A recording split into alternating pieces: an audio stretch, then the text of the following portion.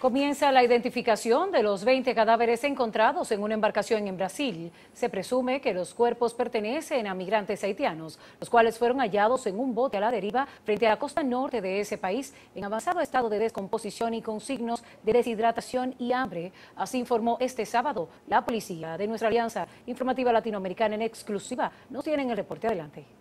Olá, os trabalhos de identificação de los cadáveres encontrados em uma embarcação em alta mar começam hoje, no norte do estado de Pará, aqui em Brasil.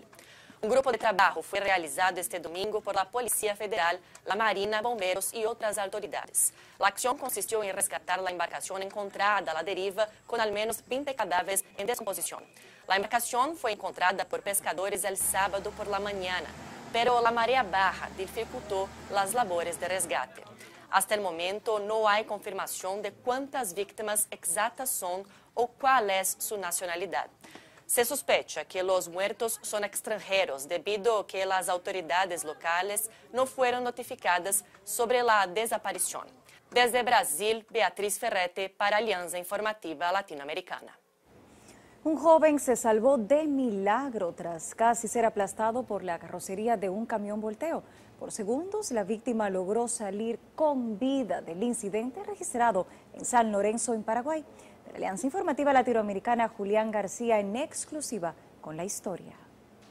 El secretario auxiliar del chofer camión Tumba se bajó a revisar la cachamba porque aparentemente esta presentaba un desperfecto mecánico y no terminaba de acoplarse completamente a la parte inferior. El joven de tan solo 17 años comenzó a revisar todo lo que podía, luego de eso trató de subir sobre la cabina haciendo presión contra la cachamba, momento en que ésta descendió rápidamente sobre el menor. En las imágenes se puede apreciar claramente cómo todo el peso termina sobre el joven y presionándolo contra el habitáculo. De milagro, un motociclista se percató de lo que estaba ocurriendo y alertó al conductor para que suba la carrocería, observándose cómo la víctima cayó al suelo. Más personas se acercaron a la escena y llevaron a un centro asistencial cercano donde tras la atención médica correspondiente quedó con golpes en la rodilla y la cabeza. No obstante, ya está fuera de peligro. Muchos catalogaron a esta escena como una desgracia con suerte. Wow, impactantes imágenes. Y ahora vamos a conocer las denuncias que ustedes nos envían a través de nuestro número de WhatsApp. Podemos ver desperdicio de agua potable debido a que un tanque azul de metal oxidado y roto, específicamente en la calle Ponce del sector Los Guaricanos, en Santo Domingo Norte. Los residentes explican que temen que el depósito del líquido colapse, además de que representa un peligro, ya que estudiantes pasan por la zona para ir a la escuela, así que claman a la CAS resolver la problemática lo antes posible. Además, cúmulo de agua por piscina en abandono en el barrio La Campana de Villafaro, en Santo Domingo Este.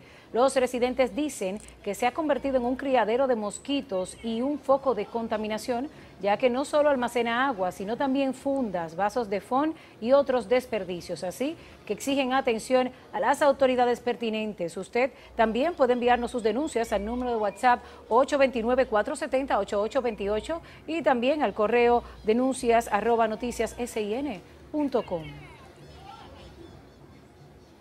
Vámonos con las divisas y es que el dólar estadounidense descendió a 58 pesos con 89 centavos la compra. Para la venta, también a la baja, se encuentra en 59 pesos con 34 centavos según el Banco Central. El euro bajó, está en 60 pesos con 50 centavos la compra y en 66 pesos la venta según Reservas. Bitcoin disminuyó a 63 mil 86 dólares con 57 centavos, asimismo que el Ethereum está en 3.102 dólares con 3 centavos. En tanto que el petróleo intermedio de Texas incrementó 85 dólares con 65 centavos el barril.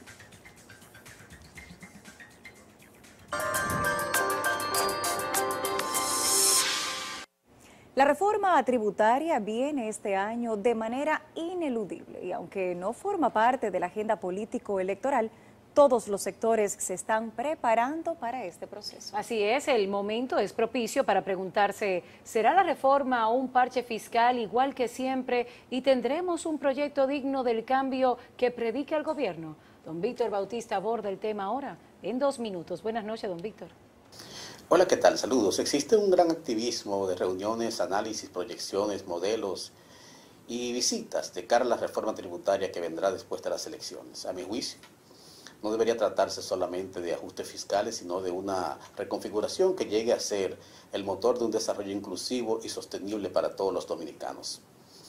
Me imagino que la filosofía del cambio marcará la pauta para que las cosas se hagan de manera distinta y no crear más de lo mismo. La clave está en transformar la reforma en una narrativa que todos puedan abrazar.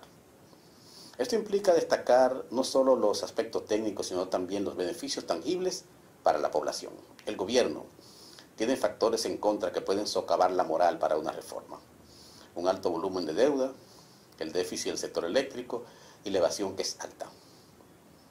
¿Cómo podemos estar seguros de que la administración tributaria está apta para gerenciar bien la aplicación de una nueva reforma? La reforma necesitará un relato creíble. Es esencial que los ciudadanos la vean no como un aumento de carga, sino como una vía hacia servicios públicos mejorados. Tiene que percibirse justa, equilibrada, que impulse la actividad económica y no liquide o saque de juego a determinados sectores productivos. Es vital que el relato de la reforma tributaria esté imbuido de esperanza y resiliencia, pilares de la sociedad dominicana. Debe inspirar confianza, mostrarse como un paso adelante en la superación de desafíos comunes, fortaleciendo el tejido social y económico del país. La gran decepción sería enfrentarnos a un nuevo parche fiscal que intente cargar más a quienes siempre pagan y a quienes pagan mucho. Hasta la próxima. Víctor, gracias. En pantalla, pregunta de ex la noche de hoy. ¿Qué medidas sugiere usted para evitar nuevos hackeos en los bancos de datos de instituciones públicas como los ocurridos recientemente?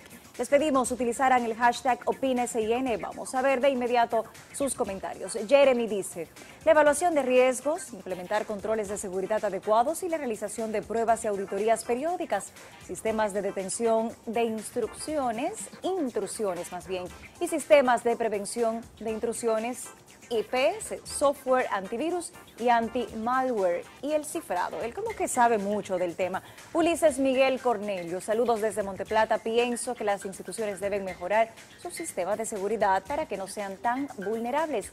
La licenciada Ana Dilia del Carmen se une a la conversación. Buenas noches desde San Pedro de Macorís amén de tener mucho más control y un programa menos frágil y vulnerable, sería bueno salir en la búsqueda de responsables y castigarlos penalmente. Se debe enviar un metamensaje que coaccione.